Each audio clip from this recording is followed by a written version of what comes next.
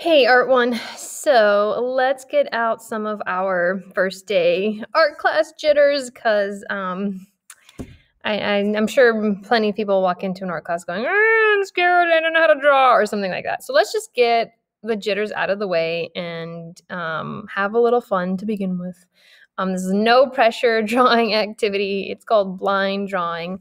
Um, and I'll show you how to do, how to do this. Now, um, you should have this little packet in your supply bin so you can go ahead and get that out. Um, i'm just going to do an example on a blank piece of paper. Like don't follow me yet. Just watch watch how i do this okay?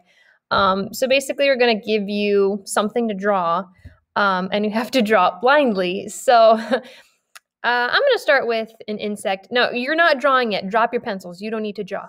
Um, i thought of a praying mantis. I think these are pretty cool. So i just wanted to excuse me I wanted to refresh my memory on what a praying mantis kind of looks like. So I decided to take a look at some pictures real quick. And I encourage you guys to do the same, just real quick before you get anything to draw. So um, this is like the method. Here we go. Look at praying mantis. Got the bulging eyes, got the antenna, got leafy looking parts, and like, I don't know, looks like six legs and like a leaf for a tushy or something like that.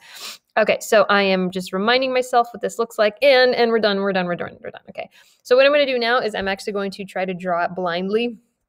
So um, I'm going to put my paper down. You don't need to do this yes, just, yet. Just um, just go ahead and watch me do it. So I remember it has kind of like a triangular face with like really bulging eyes, and then like a really skinny body, and it's got like that leaf for the booty or like it was I don't know what that was. It was part of its body. And then it's got like okay, like six legs. Two more up here. um okay, and then it's got like it's okay, so it's praying mantis, right? So I'm gonna make it look like it's praying. So it's got like thicker like front legs and then like probably that one is back there somehow. I'm trying to look like it's praying. And um, and then okay, so it had like oh, there's two antenna. Okay, I'm trying to remember everything about it. And it has two antennas sticking out of its head. And then is there anything else? There's like little spots on it and stuff. Um, I don't know. Uh, maybe it's like sitting in some grass. I can't, or like a, it's on a twig in a tree. I can't remember. Okay.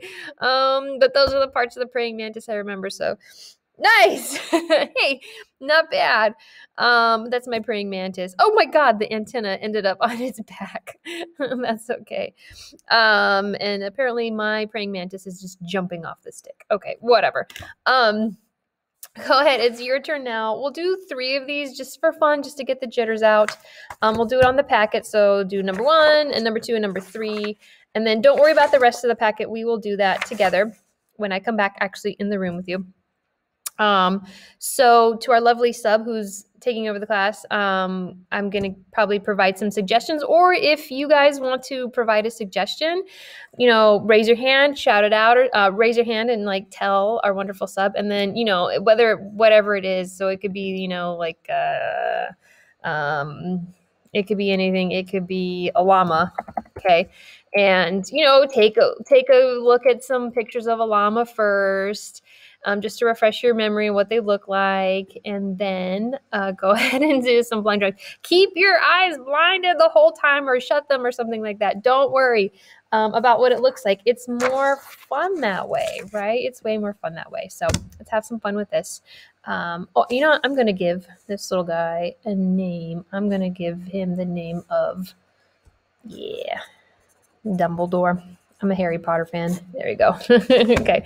You can name your your things afterwards. Have fun.